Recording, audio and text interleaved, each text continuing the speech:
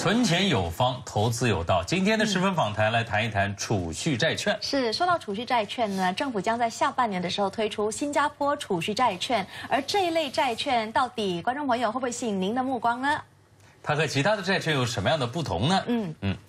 我们今天邀请到的是财务规划师陈显耀先生，为大家来解说到底什么是新加坡储蓄债券。显耀你好，你好，请您先概括性的谈谈到债券，我们知道叫 bonds，它的特性是什么？那当你就是投资债券的时候呢，其实你是把一笔钱呢借给一个机构或者借给政府，那你的钱呢借给了机构或政府呢，它就是每年呢会给你一个利息，我们英文讲 coupons，然后呢。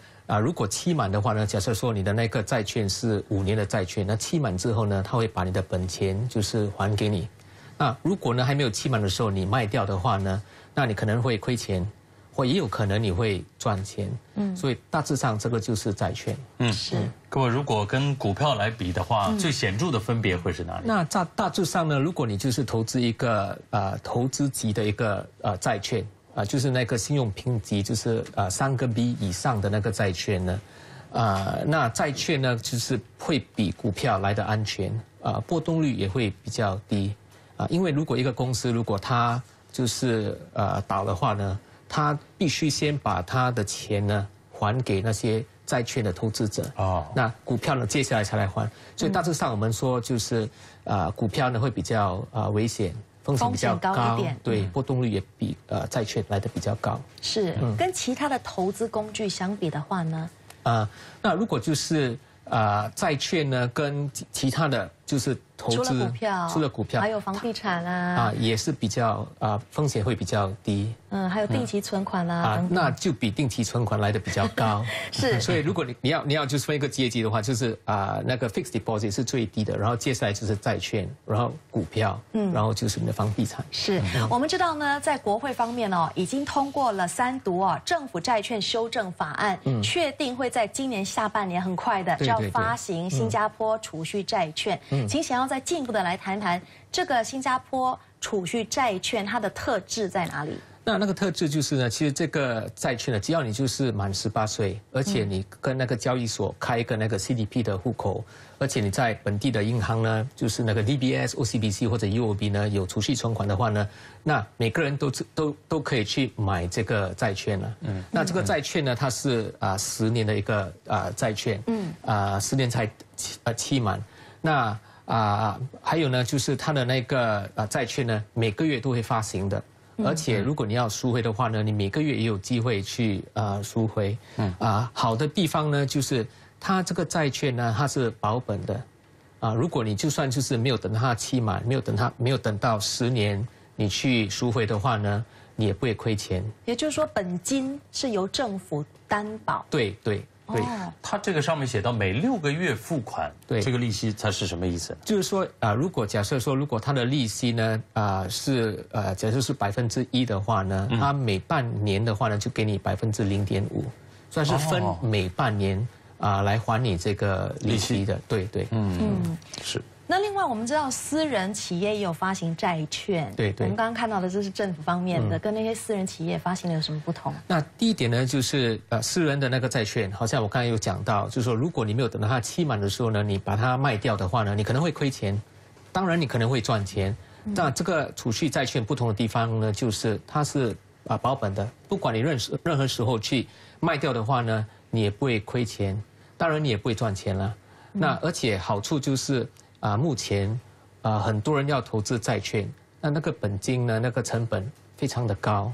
那这个储蓄债券的话呢，只要你有五百块，很简单的，而而而且你可以去 ATM 去买，所以跟这个机构的那个债券比较不同。而且很方便哦，以个人的买家。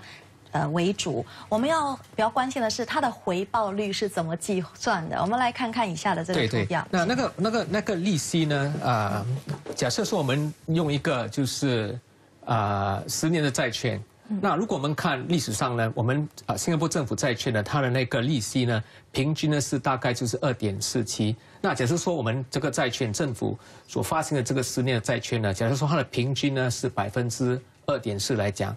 那第一年呢，它的那个利息，它的 coupon 呢，假设说它的啊啊利息就是百分之零点九。那第二年呢，它比较高，就百分之一点五。是。那第三年它可能就更高了，第四年、第五年到第十年，你可以看到那个利息就百分之三点三。那假设说我们把去啊每年的那个利息加在一起，嗯，就是三点三加上其余的利息加上一点五加上零点九，那我们除十的话呢，那我们就大概平均得到他刚才所讲的那个。啊，百分之二点四的那个利息，也就是回报率。对对对，这样的一个模式啊，计算方法可以算是我们讲递增式啊，step up，step up。那如果这个债券的持有人他想在第二年的时候赎回的话呢，嗯，他总共可以得到多少的回报？所以这个就是这个债券的好处了。那啊，其他的债券呢，可能你就会亏钱了。不过这个债券呢，你不止不会亏钱，它是就是保本的，你肯定会拿回你的一千块。对，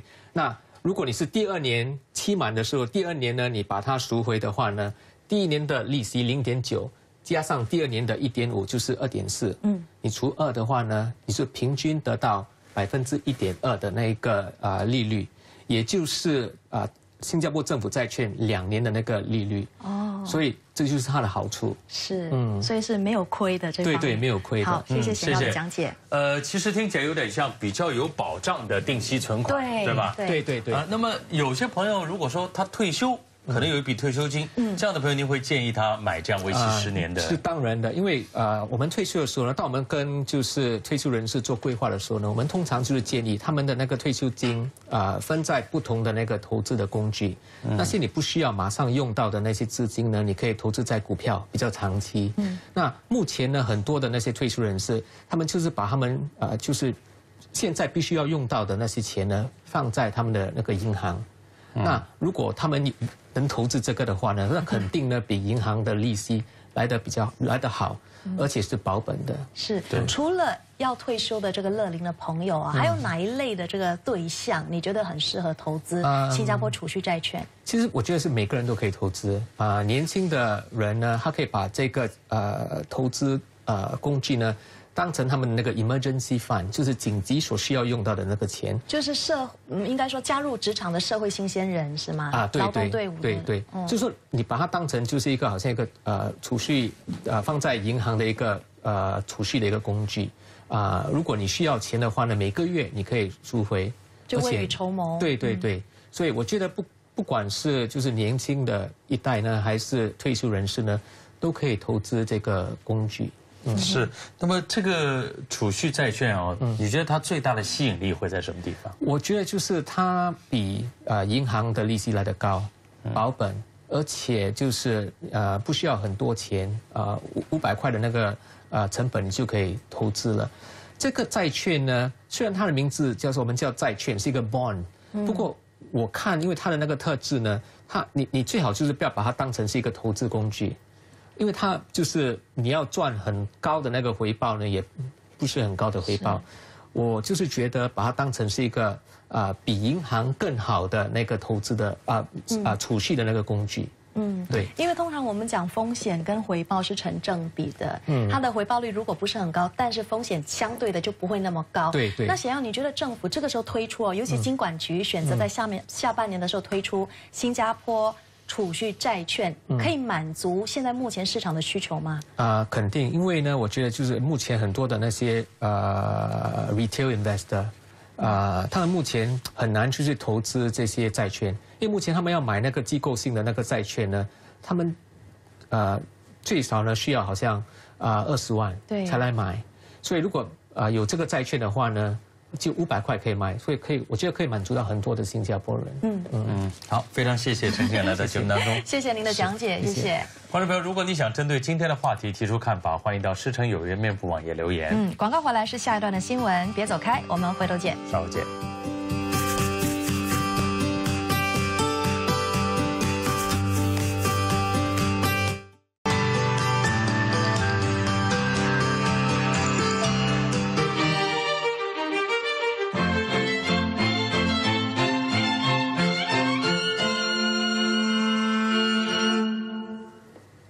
说到新加坡人的集体回忆啊，那肯定离不开美食。是，琪琪，你觉得什么样的美食可以代表新加坡？我觉得蛮多的。首先让我想到的两样就是海南鸡饭跟辣椒螃蟹。说起来就要流口水的感觉。说到美食呢，本地知名导演陈子谦 （Royston Tan） 跟其他的三位导演，透过了镜头，留住本地四十九道美食的色香味。嗯。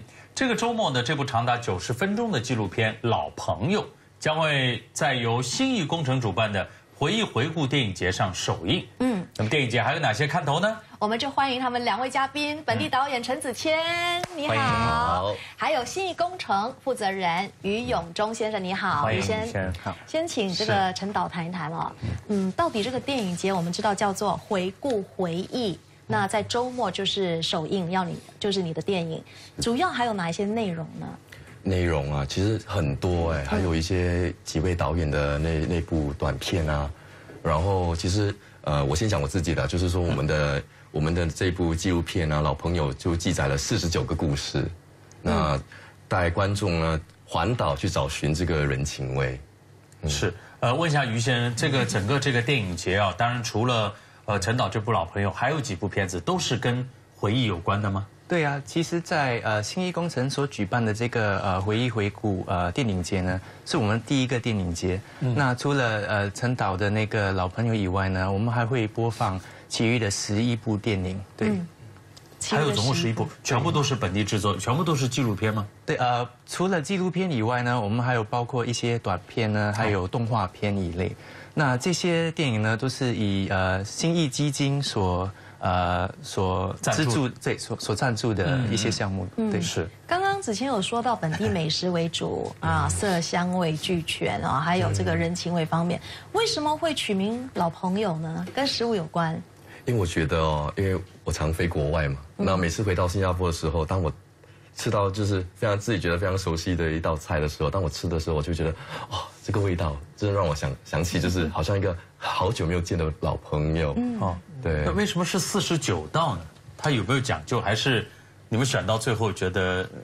就是这个数字，因为我们 SG fifty 嘛，然后就选了四十九道，然后最后一道就让给观众自己去寻找他们自己哦，还是有讲究这个数字的，对，还是数字为主。那我相信于先生也已经看过这个老朋友这部片子，对啊，给你带来什么样的感觉？越看越馋嘛？对对对，其实呃，看了子谦的那那部电影过后呢，我自己也回味到呃家家中本身那些呃家常菜呢，那母亲常常在大年初一。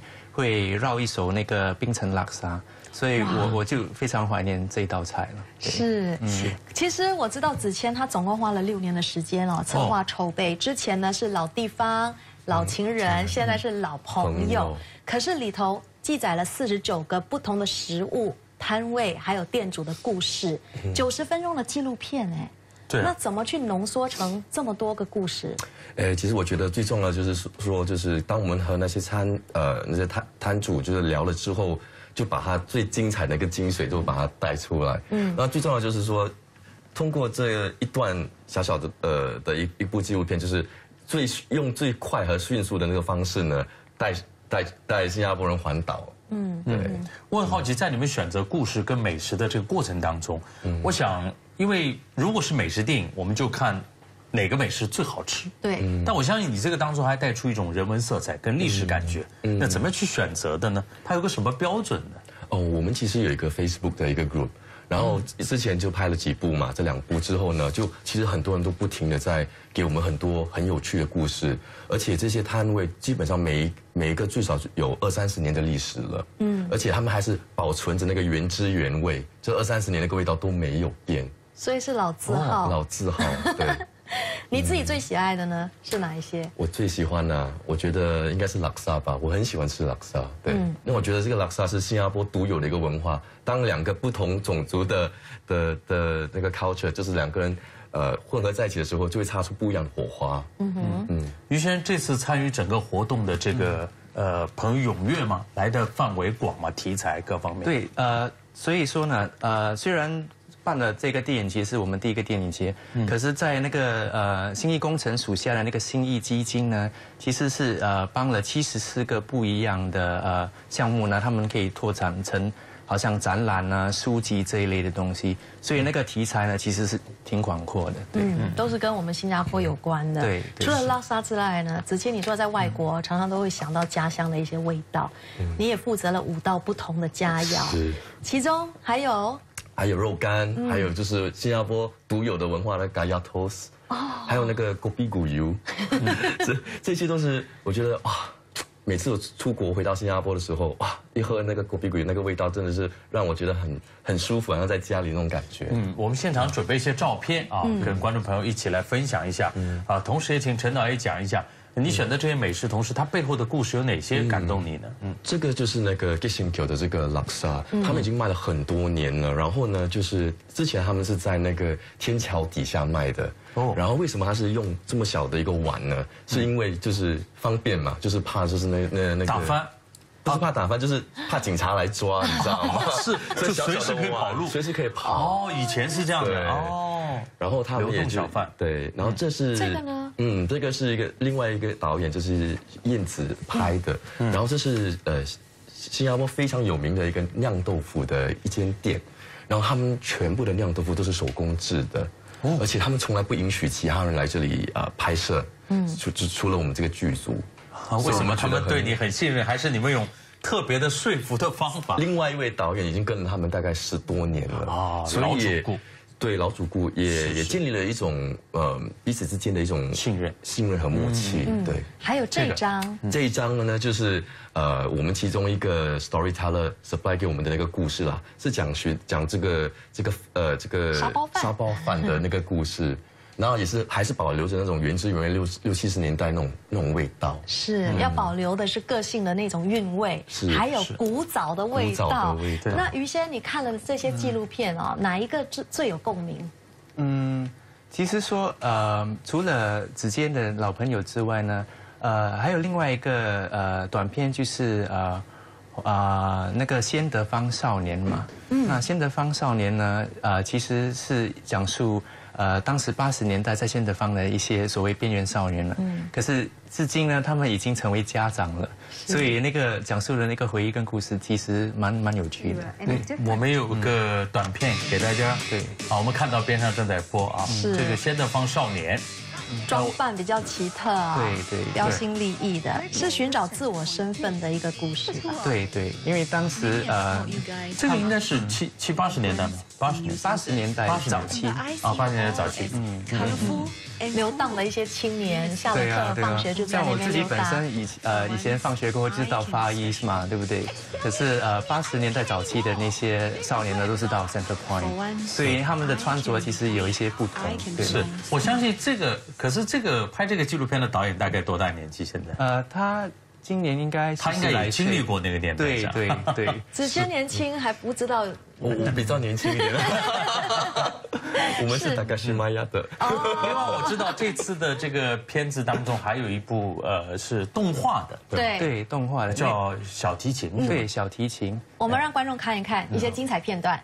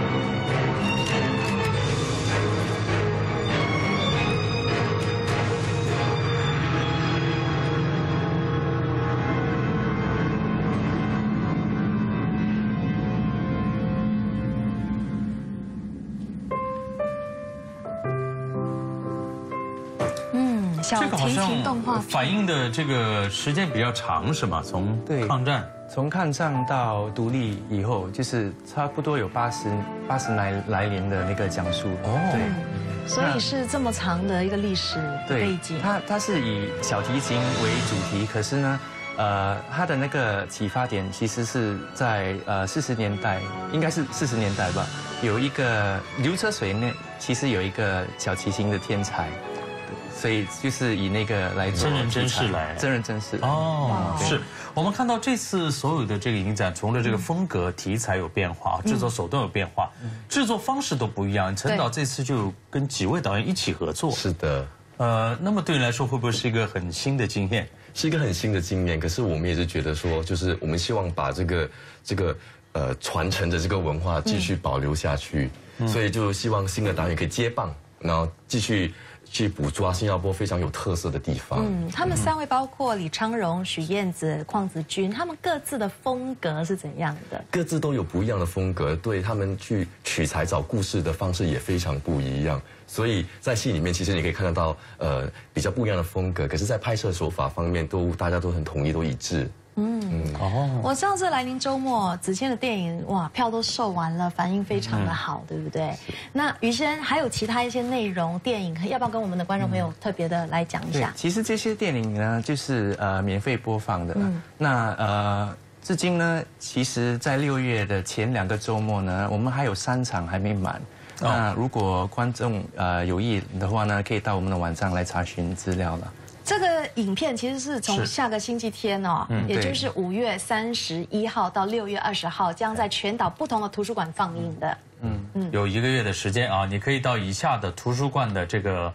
呃，图书馆的网站查询更多的这个详情。陈导演会不会率领团队到图书馆现场做一我？们应该有这个打算去做一个活动做一个活动，就跟观众一起互动吧，太好了这个集体回忆。哎 太好了好！今天节目呢，我们非常感谢陈子坚导演跟我们介绍了你的老朋友纪录片，也谢谢于先生跟我们分享了回顾回忆电影节的内容，谢谢。谢谢。呃，观众朋友，欢迎大家到《师城有约》面部网页留言。嗯，当然你也可以浏览八频道新闻及时事节目的网站，重温节目以及收看网络独家视频。是，今天节目到这里为止，我们明天星期五师承有约再会。再会。